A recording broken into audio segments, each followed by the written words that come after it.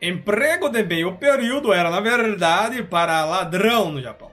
Um homem de 26 anos foi preso em uma loja de relógios na cidade de Musashino, em Tóquio, por furtar 12,3 milhões de ienes em relógios de luxo. Câmeras de segurança captaram o momento em que a vitrine foi quebrada e os 24 relógios foram furtados.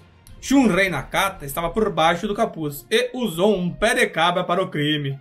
De acordo com o Departamento de Polícia Metropolitano de Tóquio, Nakata disse que se candidatou a uma vaga de emprego de meio período que viu no Twitter. Segundo o Arubaito, ele estava precisando de dinheiro e aceitou a oferta. Já pensou, Tom, como foi essa entrevista? Você se importa em trabalhar tarde da noite com um pé de cravo e um crapuz? Deve ter sido assim, Massal. Deve ter sido desse jeito mesmo.